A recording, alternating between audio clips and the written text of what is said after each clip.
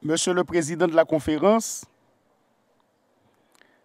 Monsieur le Secrétaire général de l'Union internationale des télécommunications,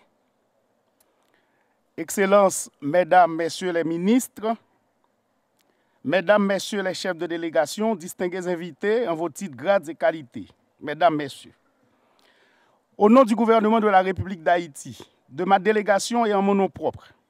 j'ai l'immense honneur de m'adresser à la 20e édition de la conférence des plénipotentiaires,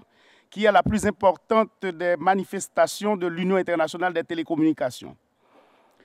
D'emblée, je tiens à exprimer mes sincères remerciements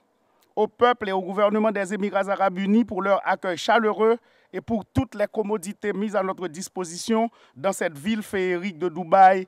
qui a déjà su nous gâter à l'occasion de la conférence mondiale des télécommunications internationales en 2012 et de la conférence mondiale de développement des télécommunications de 2014. Je voudrais saisir l'opportunité de cette chaire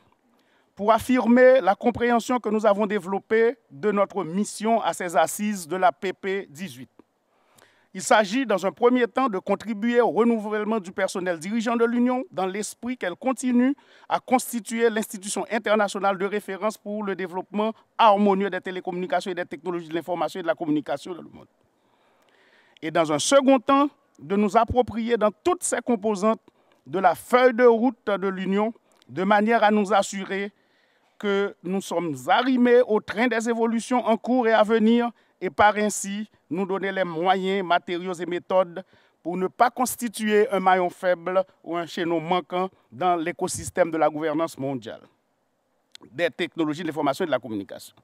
Ainsi conçu, est-il nécessaire de réaffirmer notre credo que les technologies de l'information et de la communication constituent un moteur essentiel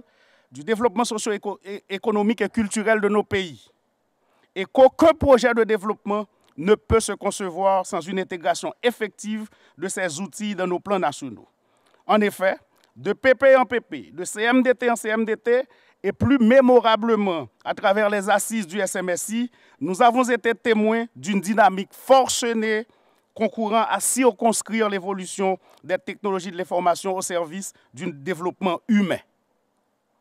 Par-delà les difficultés de tous ordres confrontées par la République d'Haïti pour se donner les moyens de saisir les immenses opportunités offertes par cette technologie, nous avons cheminé en visibilité directe des objectifs poursuivis par la communauté internationale et adhéré à toutes les stratégies qui devaient nous conduire à la terre promise des avantages universels que tout système de communication bien géré devait garantir.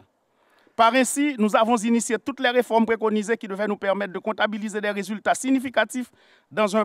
positionnement productif et valorisant dans le secteur selon les promesses de nos accompagnateurs financiers, en l'occurrence la Banque mondiale et l'USAID, qui nous apporté un appui décisif dans ce registre. En effet, l'évaluation qui nous a été donnée de faire des résultats de ces réformes montre que des ajustements, corrections et aménagements forts sont indispensables. Si, à l'égal d'autres pays qui ont engagé les mêmes réformes, la République d'Haïti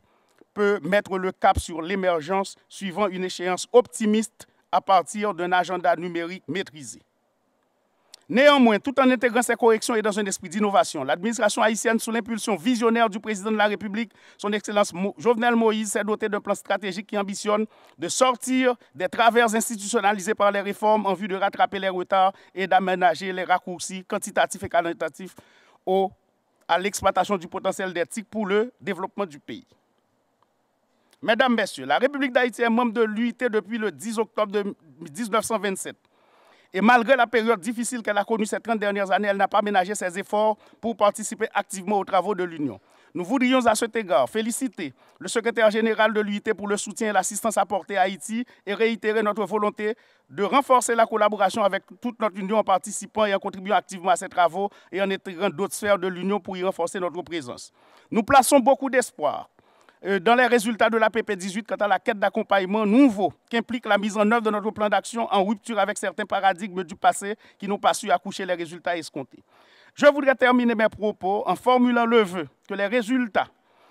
des travaux de la conférence soient à la hauteur de nos attentes et réaffirmer la volonté de la République d'Haïti de prendre une part active dans la nouvelle société de l'information que nous forgeons ensemble. Je vous remercie pour votre aimable attention.